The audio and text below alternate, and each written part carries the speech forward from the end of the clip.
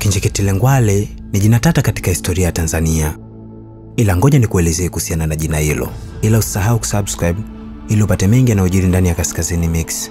Na mimi naitwa Kea, K E A H. In another way you can call me genius and this is Kaskazini Mix. Mwanzoni mwa karne ya ishirini katika nchi ya Tanzania, Kinjeketile Ngwale aliwashawishi watu kupambana dhidi ya mtoto wa bunduki na Wajerumani waliokuwa wakiitawala nchi hiyo wakati wa koloni. Kinjeketile Ngwale aliwaahidi Watanzania kuwalinda kwa maji ya miujiza. Inaelezwa kuwa alipata miujiza hiyo kutoka kwa roho aliyejitokeza kwake katika umbile la nyoka na kumburuza Kinjeketile ndani ya maji. Baada ya masaa 24 alipoibuka akawa amekauka na kuanza utabiri wake. Kinjeketile Ngwale anachukuliwa kama ishara ya upinzani dhidi ya utawala wa wakoloni wa Wajerumani huko Tanganyika ambayo kwa sasa inafahamika kama Tanzania.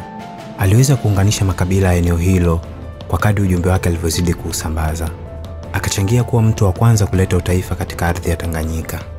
Kinjeketile Ngwale anafahamika ndiye mwanzilishi wa kwanza wa vita vya Majimaji, ingawaje alikufa kwa kunyongwa muda mfupi baada ya vuguvugu hilo kuanza. Inakadiriwa kuwa watu laki moja na themanini hadi laki tatu walifariki dunia wakati wa vita hivyo. Kati ya mwaka 1905 na 1907 vita hivyo vilishika kasi, vilikuwa ni moja kati ya vita vikuu dhidi ya ukoloni barani Afrika, na hiyo ndio historia kuhusiana na jina la Kinjekitile Ngwale. Kinjeketile Ngwale ni nani na amefanya nini? Nikukumbushe kusubscribe kama hauja subscribe ili upate mengi yanayojiri ndani ya Kaskazini Mix.